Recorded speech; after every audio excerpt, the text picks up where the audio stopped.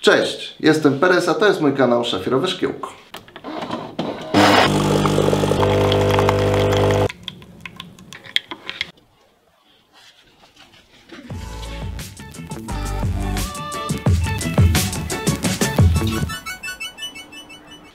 Witam Was bardzo serdecznie i tak, 4000 subów.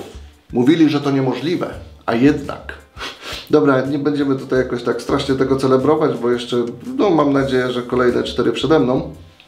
16, 20, kto wie, może milion. Nie, dobra, mniejsza z tym. Dobrze, moi drodzy, mm, mam od Was pytania, przeczytam, odpowiem. No i co? Siadajcie i słuchajcie. Brodaty Świr się pyta, czym się zajmujesz? Otóż jestem informatykiem. Tak, pracuję w dosyć dużej korporacji. Mam swój zespół, który serdecznie pozdrawiam. Niesamowity zespół. E, I co? No i jesteśmy informatykami, jesteśmy drugą linią wsparcia, czyli no co? Naprawiamy komputery, pomagamy. Tak naprawdę spektrum moich obowiązków jest dosyć duże i nie wiem, czy udałoby mi się w tym materiale przedstawić wszystkie e, te kwestie, ale ogólnie rzecz ujmując, jestem informatykiem. Dalej, Rocky Summit się pyta, czy masz komfort i możliwość wyboru zegarków do recenzji, na przykład ze sklepu od czasu do czasu, czy też od znajomych? Otóż to pytanie rozbijam sobie na trzy. Pierwsze, znajomi. Moi tacy najbliżsi znajomi, e, w sensie niepracowi, nie za bardzo posiadają zegarki, nie za bardzo się nimi interesują, ale już ci z pracy, jest ich sporo i mają zegarki i też mi je pożyczają. Także wielki szacuneczek też dla nich, pozdrawiam serdecznie i dziękuję. Potem jesteście Wy, to już jest druga część. Wy... Yy, naprawdę ja jestem pod niesamowitym wrażeniem, znaczy nie wiem, czy można być pod niesamowitym wrażeniem, ale jestem pod wielkim wrażeniem, e, jak mimo wszystko obcy ludzie, bo ja Was kojarzę z komentarzy i tak dalej, ale to no dalej jesteśmy sobie tak jakby troszeczkę obcymi ludźmi, a Wy mimo wszystko ufacie mi i wysyłacie mi te zegarki. I to jest niesamowita sprawa. E, jest już parę osób, które dzielą się swoją kolekcją ze mną można powiedzieć, na takich relacjach, y, a Maciek, bo mi tu wpadł zegarek, trzymaj, nie? I wszystkich Wam serdecznie za to dziękuję. Jest jedna kwestia. Ostatnio ktoś do mnie napisał z Wielkiej Brytanii, że chciałby mi pożyczyć swój zegarek. I niestety bardzo było mi głupio odpisywać, ale troszkę się boję przyjmować zegarki z zagranicy i tu bardziej chodzi o to, że ja się obawiam, że w drodze do mnie coś się z tym zegarkiem wydarzy. I wtedy będzie taka no, dosyć dziwna sytuacja i wolałbym nie brać na siebie takiej odpowiedzialności. Już w, już w Polsce jest duże ryzyko, co dopiero między granicami. Także wiem, Schengen nie ma granic, ale Brexit. Był Brexit, nie? E, także tak. E, I trzecia część, czyli od czasu do czasu. Od czasu do czasu jest to naprawdę bardzo, bardzo fajny sklep.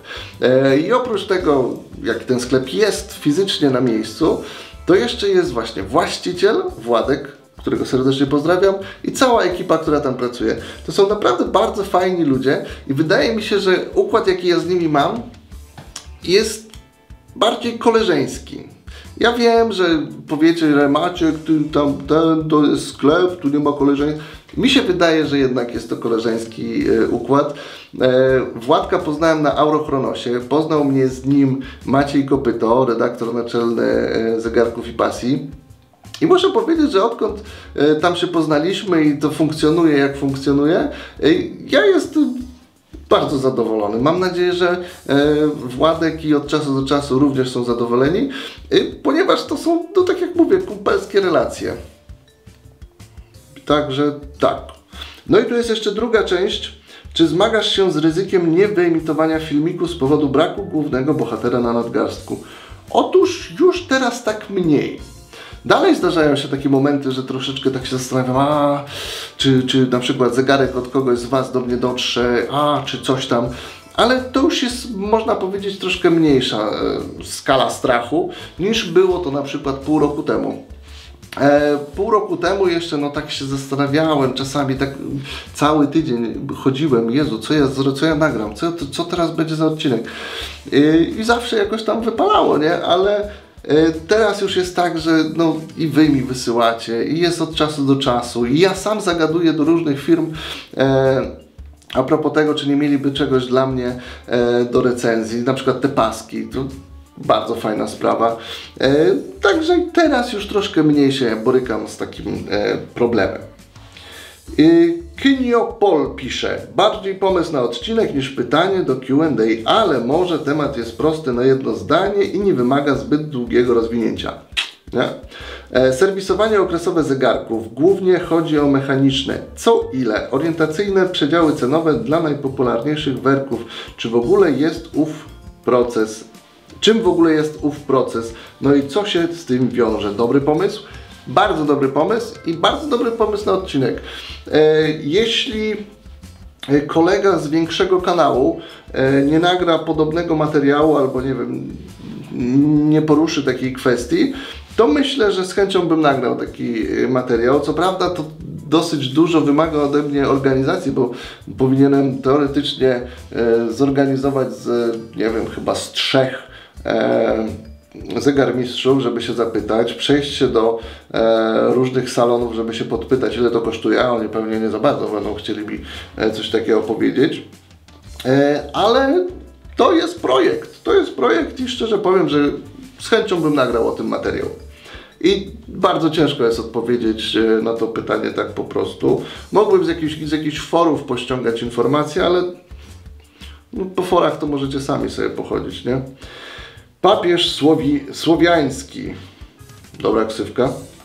E, jeden. Jaki jest najdroższy zegarek w Twojej kolekcji? Eterna. Eterna i to jest moim zdaniem bardzo dobrze wydana każda złotówka na ten zegarek. Yy, I druga część, ulubiona marka zegarków. Otóż są dwie, Grand Seiko i Zenit. Bardzo mi się podobają i bardzo lubię, bo są, to są takie dwie firmy, które są, nie są tak strasznie oczywiste.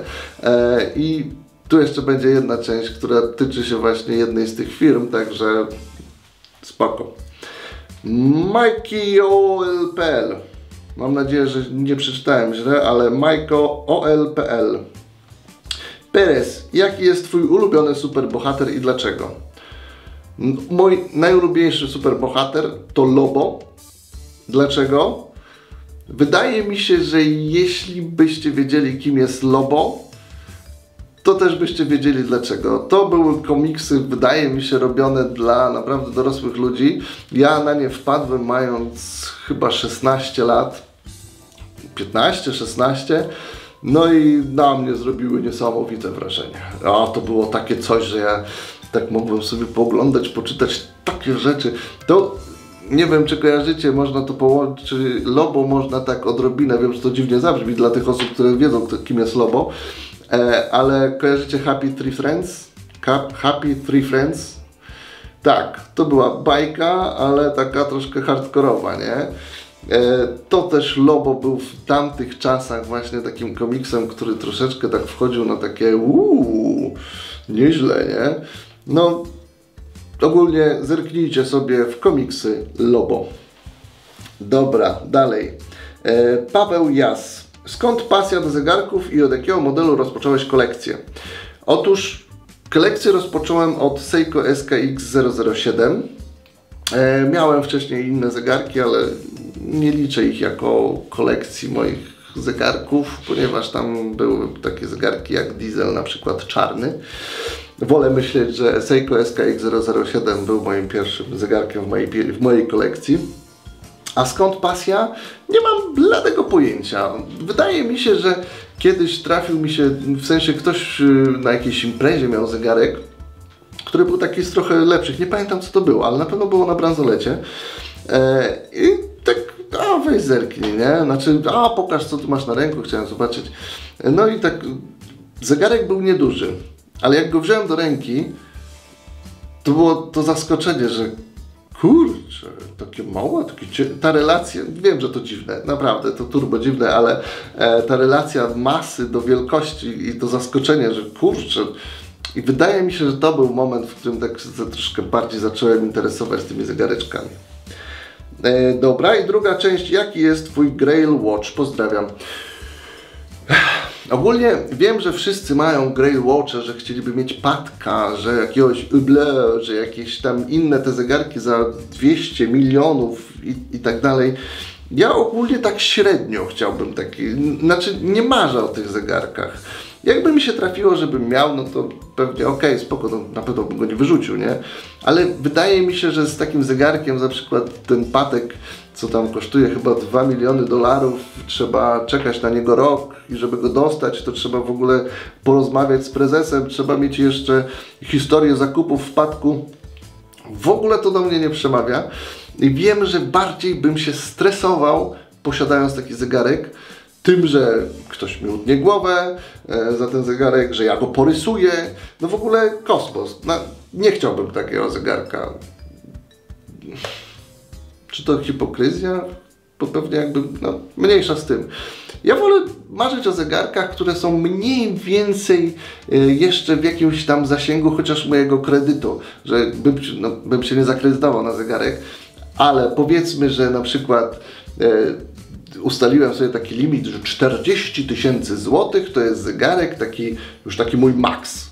Mój maks, że może kiedyś tam, jak teraz zacznę odkładać, to kiedyś będę mógł sobie na niego pozwolić. E, I takim zegarkiem jest chyba Zenit El Primero. Ja Wam tu pokażę te, to zdjęcie tego zegarka. Ta niebieska subtarcza, ta szara subtarcza. No jakoś to tak, coś jest w tym zegarku. I jakbym chciał, jakbym miał mieć taki, takiego Grey Watcha, to wydaje mi się, że właśnie to by był Zenith El Primero. Mm, tak. E, dobra. Teraz Tomasz Kaźmierczak pyta. Wspomniałeś, że lubisz sci-fi. E, twoi ulubieni autorzy. Otóż lubię sci-fi, ale wydaje mi się, że bardziej lubię fantazy. I tak troszeczkę moje checkboxy, tak mnie trochę szturcha moją psychę i Piekara i Pilipiuk. Tych dwóch autorów mógłbym czytać w kółko. Mortimer Maderdin i Jakub Wędrowicz. To są dwie postacie. Znaczy lubię jeszcze tego, Preczeta i parę innych, ale właśnie e, Piekara i Pilipiuk, oni naprawdę piszą fajne książki. Trochę takie inne spektra, bo to trochę na śmieszniej Jakub Wędrowicz, na bardziej poważnie właśnie Mortimer Maderdin, ale to są, to jest dwóch i to jeszcze polskich autorów. Bardzo fajna sprawa. Yy, dobrze, Gustaw na stoku pyta, czy jest jakaś marka lub konkretny model zegarka, który cenisz sobie ponad wszystkie inne i bez względu na cenę chciałbyś go mieć w swojej kolekcji? No i tutaj muszę powiedzieć, że to właśnie dwa zegarki, znaczy dwa zegarki, no dwie firmy sobie tak cenię. Właśnie te, te, to Grand Seiko i tego Zenita El Primero. E, znaczy to Grand Seiko i Zenita. E, I wydaje mi się, że zegarki tych dwóch firm e, są czadowe. Także, także tak.